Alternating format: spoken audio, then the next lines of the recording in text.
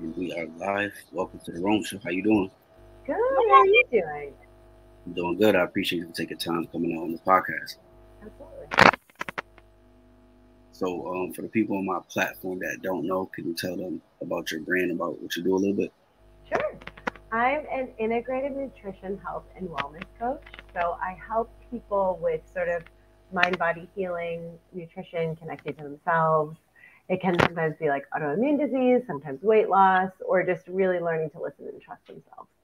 And I have a podcast where we talk about the same things. I, I have a lot of different experts on. We talk about different tools to really optimize both the mind and the body. Right, super cool. So, uh, what made you want to start the podcast?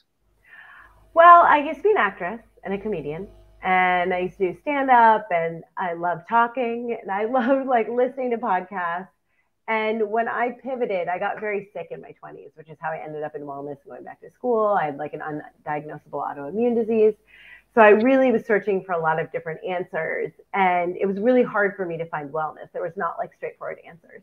So I really learned a lot about, you know, neuroscience, gut health, nutrition, all kinds of different things to understand like why both my physical and mental body, like my mind weren't doing well. And it made me so incredibly like interested and passionate about learning. And i got very wrapped up in listening to other people's podcasts and i just started to want to have conversations with interesting people and learn more and then be able to share those conversations with people who could also heal or optimize their lives right and um you know you being a podcaster and do everything you just said um how do you feel about like the podcast world like I love it. I mean, it's so saturated. There are like so many. So you can very much listen to a podcast, I think, about everything and like sift through a lot of different stuff. But I find it it's a really cool way to interact and get to know people on a different level. And I think it's a lot of fun. Yeah, it's a lot of fun. It's a lot of work too. Yeah. Yeah. Yes. Luckily I have a producer that does a lot of the back end stuff, which I think I'm just not good. Logistics are like not my thing. So I can show up and do the connection and tell the stories and interviewing, but like beyond that, the editing, all that stuff, that that's that makes me crazy. Yeah, and like with podcasting, one thing I learned um, since I've been doing this is you can meet so many different people. You can learn yeah. a lot of things too.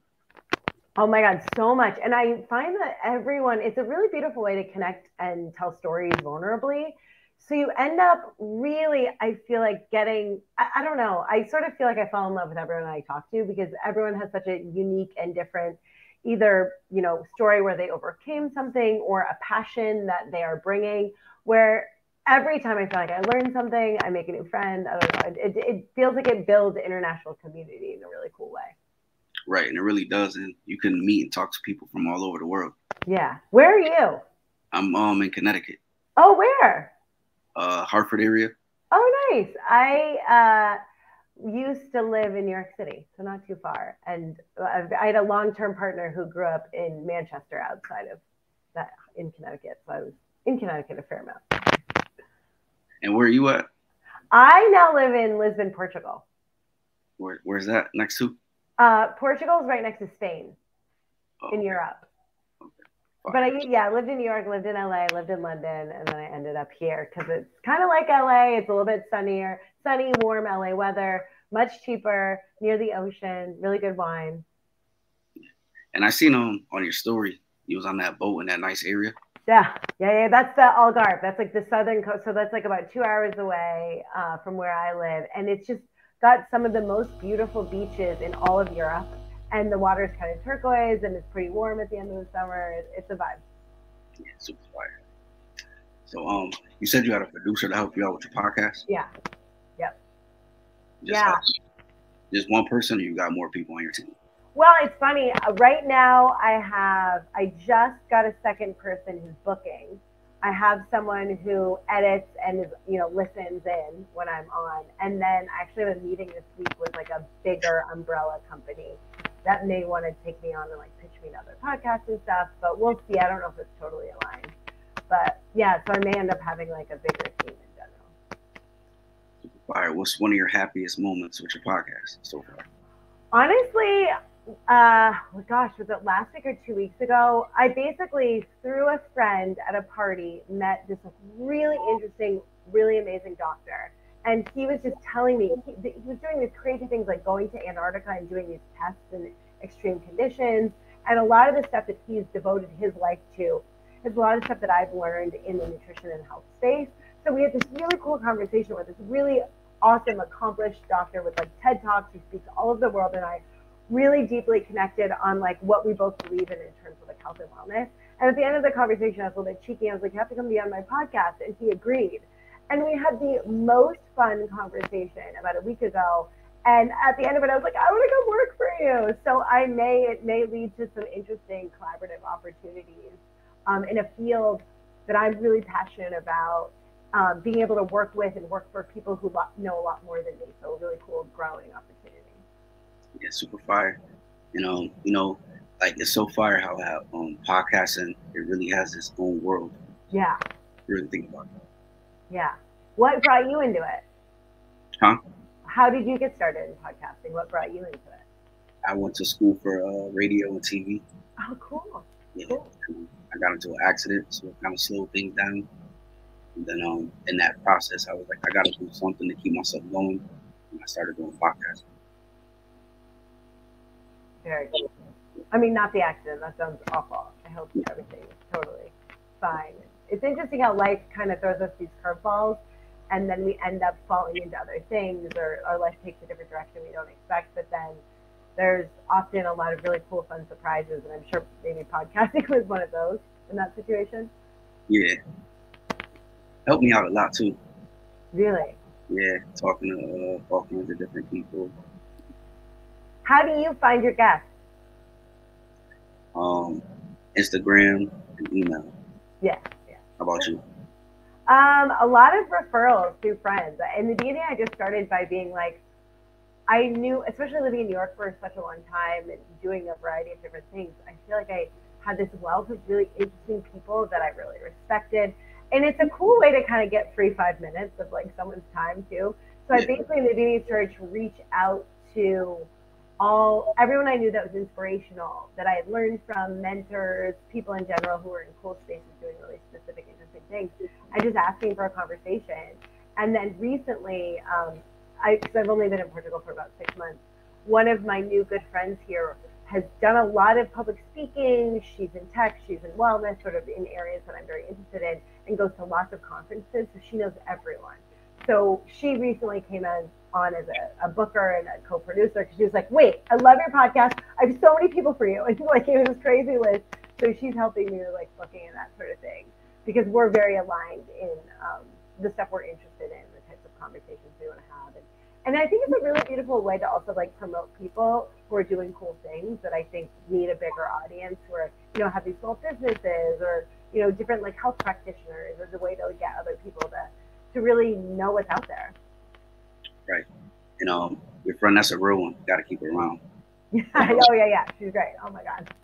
It's hard to uh like get uh you know guests to come on your show. Yeah.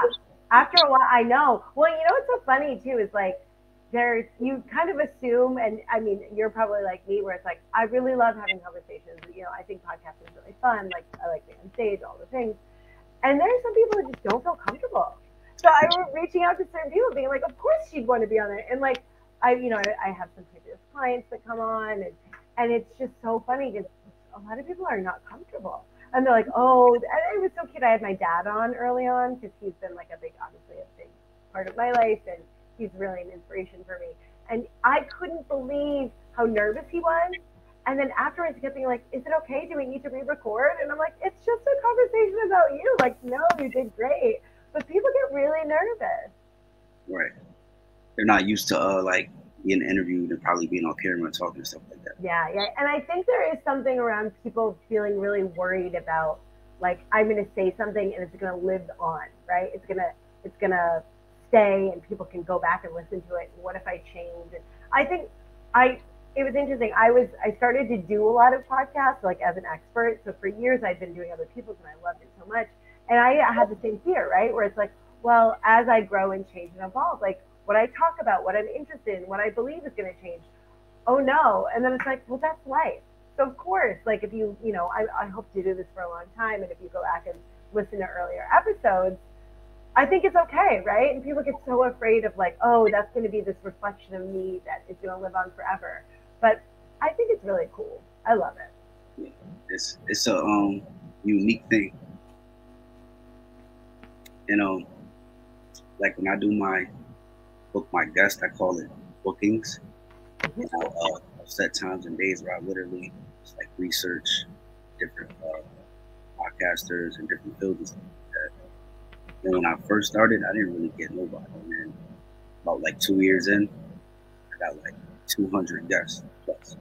That's amazing. That's that that's amazing. And so you've been doing it. You've been at it for like two years. Yeah. Yeah. About about three, going on four. Nice. And what are your long term goals? Like, what's the what's the dream? To become like a huge podcast network that can help other podcasters. Maybe I can produce for them, you know, like make graphics, do mentors. Very cool. And what has been your most exciting podcasting experience? I got a couple. Ooh, um, tell me. Are you into music a lot? Of course. Are you uh, aware of Chief Keef? No. He's a big rapper. Cool. Drill scene. And I just interviewed his artist. That's good. And uh, that's one of them. You know, the other one, are you familiar with Bow Wow? Yeah, of course. Bow Wow. I interviewed this DJ and this producer. Oh, that's so cool. Yeah, and then another one that I liked was I interviewed the Connecticut State boxing champion. Oh, neat. And what did you learn? What was the coolest thing you learned out of those three interviews?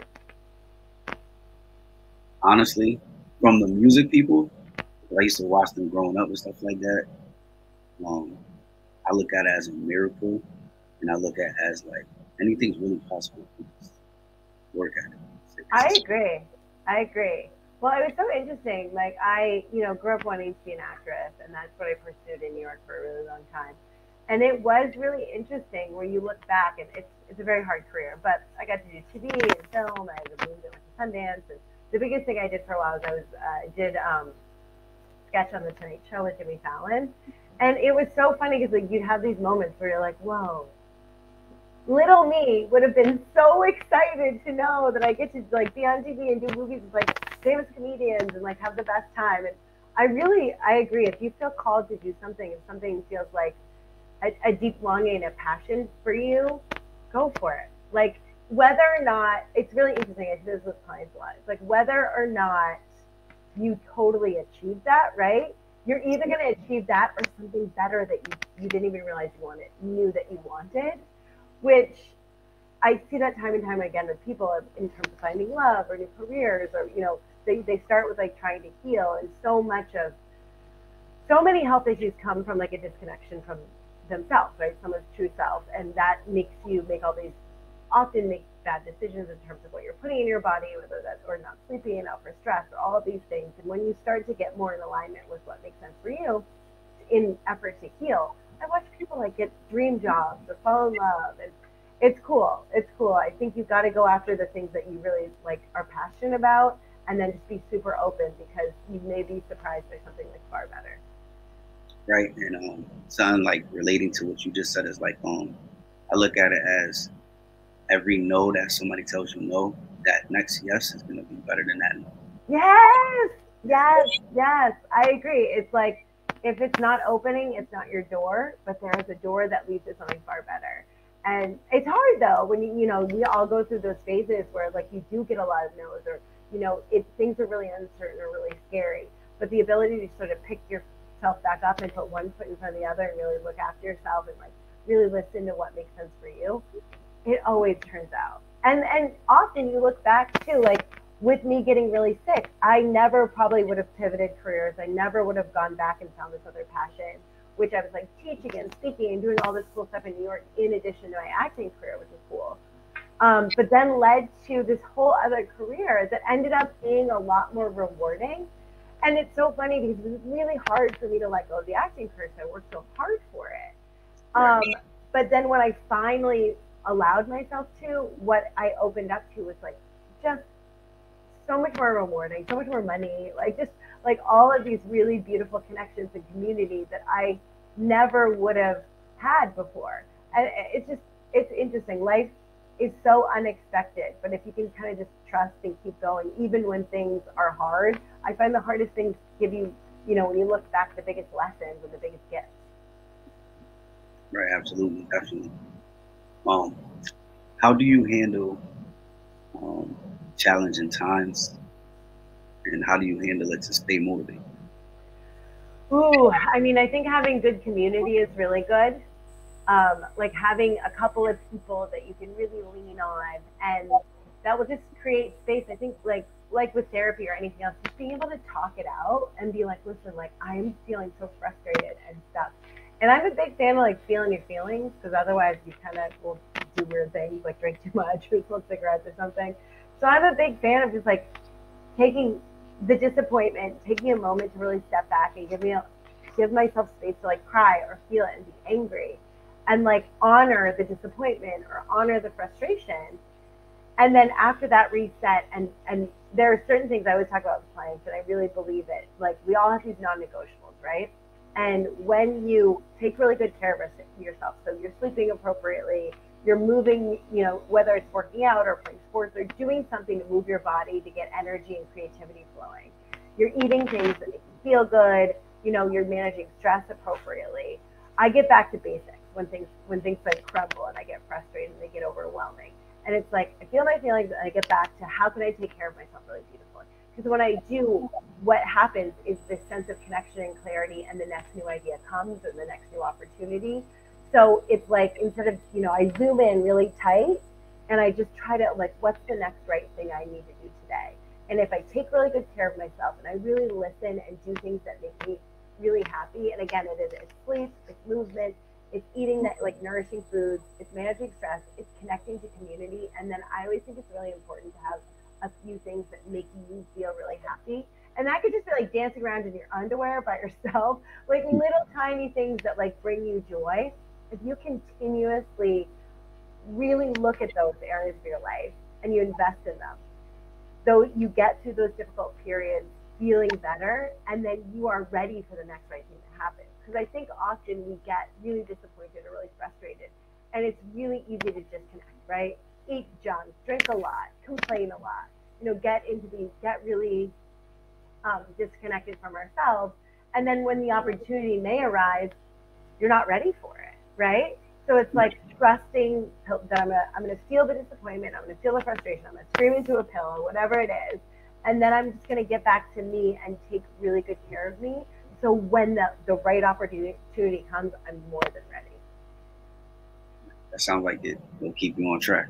Yeah, but it's hard. I mean, we all have ways. We all have those moments, right? And it's really funny that you asked me that question because this is the big thing I talk about in my podcast, where you know, at the end, I always talk about life gives always is going to guarantee opportunities for suffering, right? But it's right. how we pick ourselves back up. We can really just be miserable and frustrated and drunk and like do bad, you know, like whatever, make bad choices. Or we can shift our perspective and be like, okay, how is this? And I think a really big question I ask myself too is like, once I get over the feeling of disappointment or whatever it is, or even when I'm in it, it's like, I'm just going to trust that somehow there's a really profound lesson in this for me. So instead of thinking about like, why is this happening to me? Think about why is this happening? And it's like, okay, I don't know exactly why yet. I'm, I'm heartbroken. I don't know why he broke up with me, or I don't know why I lost the job, or the you know thing didn't work out. But I'm I'm guessing, and I can look back on my life now and see that all of those disappointments were really just gifts, right? After the fact, where I'm like, this, this you know, I may be heartbroken or disappointed, but I'm going to know that this is going to be for me in some beautiful, profound way. And then just trust, right? It's like a letting go and a deep trust that it's going to work out if you keep showing up and you keep honoring yourself. But it can be hard. And it's okay to have that day where you're like, fuck it, I'm laying on the couch. Sorry, I'm not supposed to swear. um, if you have those days where you're just like, today I'm not getting out of bed. And you're allowed to have those too. But it's like, okay, tomorrow I'll start all over. Right. So um, because me like I'm on a go like every day, like in between like my job and everything I'm doing, you know, making time for like the fiance and all that. I'm always on the go with the podcast and work as far as like the business, trying to elevate. How about you? Like, are you always on the go? You know, like when things get like you're trying to balance everything out as far as like getting the shows booked, getting the artwork done, um, getting the marketing done, the promo. You take breaks and then you get right back to it, and you take like long breaks. Well, this is how I mean. This has been really nice with having a producer because she carries some of this load, um, and it's been interesting because she also does like film and TV stuff. So she's going into a season where the next couple of months she's working on a couple of films, and we don't. She doesn't have as much capacity. So we're just like, okay, we're gonna just release fewer episodes. I'm gonna book more people. I'm not gonna worry about it. I'm gonna trust that this is the right thing. And it's funny because part of the reason I got really sick when I lived in New York, and you know New York City is like one of the most insane places, it's the best, but it was like so intense. And I'm, you know, what they would call a highly sensitive person. So the go, go, go, go, go, go, go, go, go mentality, you know, ended up like me really stressed out. Stress is like one of the most toxic things for your body, right? So I was getting all of this autoimmune stuff that I was gen- genetically predisposed to happening because my body was so out of alignment. And I, because as an actor, all you're always looking for your next job, right? So it is like audition, audition, and you get a job and you do the job and you work really hard, and then the next thing and the next thing, and you're always there's always this fear like everyone's gonna forget about me, or I'm never gonna have another job, or if I don't hustle as fast as I can, I'm never gonna make it there. And in that, and I think a lot of American culture, especially, is really geared around that, right? It's like, you know, sleep when you're dead, work really hard, and then retire and sit on the beach. There's no balance around it. And what I was forced to do because I was so sick, I had to be, I was in bed for a year and I was in my late 20s. So I wanted all of my friends, you know, excel in their careers, to have babies, get married, and I'm in bed. And it is so frustrating and so it was so awful, but it was this really beautiful lesson in balance. So for me, with this, and like with stepping back from acting and, and having my own business and moving, what I found like the pandemic really brought, and I think a lot of people experience this, this, this slowing down and this shift that ended up making me feel better than ever and getting more clarity and more creativity. So from that, I really learned that for me, taking time to take breaks really refills my cup in terms in terms of creativity, in terms of motivation. And so not over, you know, filling my schedule, leaving time for rest. And it was funny, that's how I ended up in Europe because the quality of life here, they just value rest and play and vacation in a different way that people don't in the United States. And if you want, you know, with this career, you want this is a marathon, not a race. So it's so easy to get burnt out, especially if you really love something, but then it almost becomes toxic. So for me, I really like when I get more no's or we have like our schedule gets a little bit lighter, it's like, okay, this is just a beautiful opportunity to rest and go back and think about who I want to have on or what direction do I want to go in or how do I promote this or connect to more people. So I tend to, you know, I hustled really, really long and hard and it, it didn't serve me. And while I think it's incredibly important to have great work ethic, uh, it is as important, especially as a creative person, to have those spaces of rest and replenishment because that's where the new ideas and the inspiration come. And when you can bring yourself fully to a project really well rested and excited, you get the most out of every experience. That's a real good way to look at it. Because it's, it's, and I truly believe like if it's meant for you, it will find you, whatever it is. And obviously, this is something that's very meant for you. You've been doing it for years, you're good at it, you love it trust that like there are going to be times that are really busy and you're going to flourish and there are going to be times that are leaner and when times are a little slower and leaner it's like ooh this is actually just an opportunity for me to slow down and pivot and think about like am i bringing myself fully to this? Or is there something i want to do more? Or are there other people i could connect to and, and just get more inspired? And instead of feeling bummed out i really always look at it as a gift. Fire, this is gonna be a fire episode. good, good. Um, you know, before we wrap it up, what's some um advice you could give, you know, from your point of view, how to lock out insults, how to um just keep going and just stay focused. Yeah, so if, if you're getting negative feedback, you have to remember. I, re- I read this book years ago, um, and it had this really interesting passage in it that that changed my life, and I think it's really beautiful. But it essentially said, "What if every time someone communicated with you, they were either communicating love or a need for love?" And so every time someone shows up and is a jerk and is insulting, it has nothing to do with you. It literally is coming from their own pain and wounding and disappointment or jealousy. Because often when you have a dream, right, you're putting yourself out there, you're doing something cool, you're doing something that not a lot of people are doing, people get threatened, right? Because how dare you follow your dreams? How dare you put yourself out there? Like I am, I'm so afraid to do that. I'm going to be angry at you. I'm going to put that on you, right? So like mm-hmm. whenever you get negative feedback from people, know that 99.9% of the time is about them and not you. And I always, whenever that happens, it's like, oh, honey, I'm just gonna like quietly send you a little bit of love and know that like this is your pain that you're projecting on me because you're afraid or you know you didn't get your needs met or you know you're not living the life that you really wanted to be living. So what i'm doing is making you really upset right? And then as far as like I, I have a big like I think there are two parts to it. Like I think the more you can take time to take care of yourself and check in on a regular basis, I'm a big fan of meditation because it really gets you connected to your creativity. It's really good for your brain, it's really good for your body, but it also gets you aware of like your thoughts and and your stories. So it's a really beautiful way into your own creativity and your neurosis essentially. But like the more you take time to connect yourself and really listen, right? And really tap into the stuff that you really love trust that that's in there because you're meant to do the thing, right? So it's like, okay, I love this. I love helping people. I love like my coaching business. I love podcasting. I love connecting with people like you. I'm going to trust that I'm meant to do that, and I'm going to keep showing up and bringing bringing my whole self to it, and know that the right thing is going to happen. And on the other side, I think it's really important not to hold too tightly to certain ideas, right? And I remember I worked with this one business coach years ago, and she was like, "What is this one?" I, I, was still acting. I had my side business, and she was like, "What is your one idea? What's what does success look like to you?"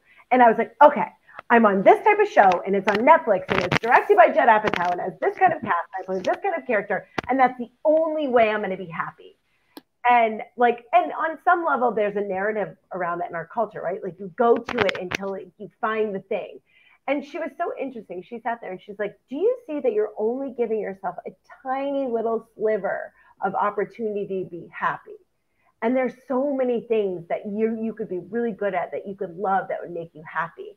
And it sort of blew the doors off for a second. And I was like, wait, no, I, I really want to go after my dreams.